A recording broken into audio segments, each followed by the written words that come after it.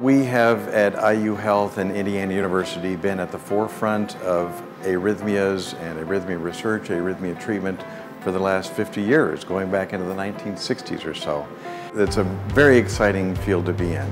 And all this has been collaborative between our institution and many other institutions, between basic scientists, clinical scientists, and practitioners taking care of folks in the trenches. Hello, how are you today?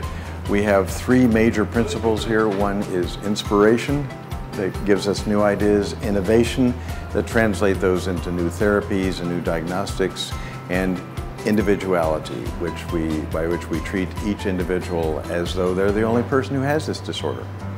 Here at IU Health, we, like many other institutions, uh, approach disease from basic science, uh, research, from clinical science, taking care of patients, and from an educational perspective.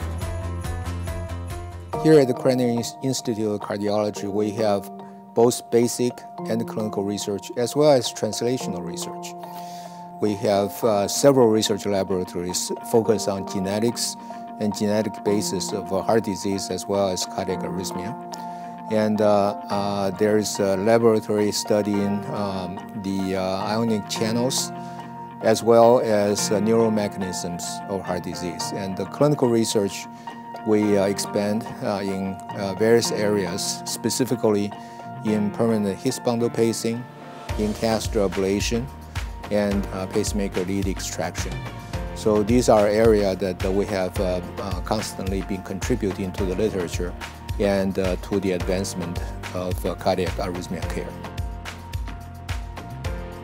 I really work as the bridge between the inpatient and the outpatient world.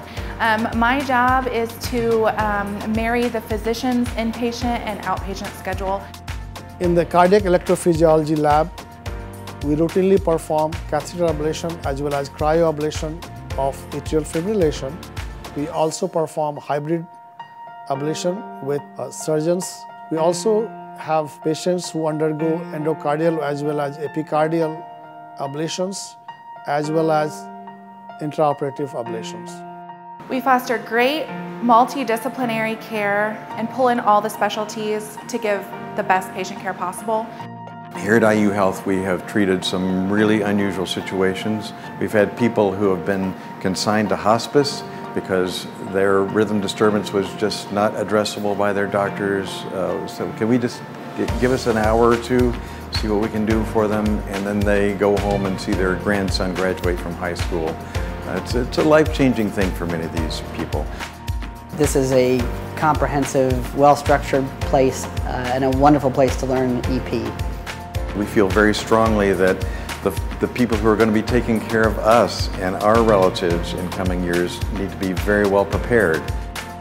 The priority of education is, is undeniable. I think that's probably the most important thing. Uh, starting from case conferences, literally every day, starting every morning with case conference, uh, or interesting tracings or didactics, journal club, every day we're starting with, uh, with education being priority. So we have the basic science that leads to innovation, that leads to individualization of therapy, and the investment that we make in both our patients and in our trainees to uh, give the very best uh, of what we've got.